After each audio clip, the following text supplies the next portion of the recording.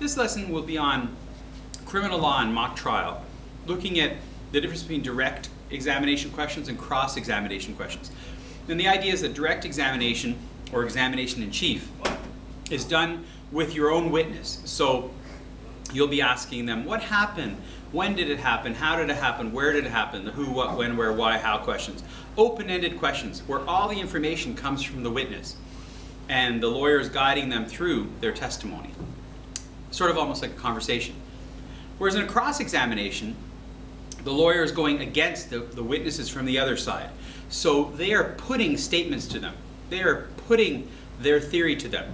So, in, so those cross-examination uh, questions will can only answer be answered with a yes or no. And really, what you're trying to do is show the judge your theory of the case in your cross-examination. So you put it to them that I suggest to you on the night uh, it was 11 o'clock. So you tell them and they can say yes or no.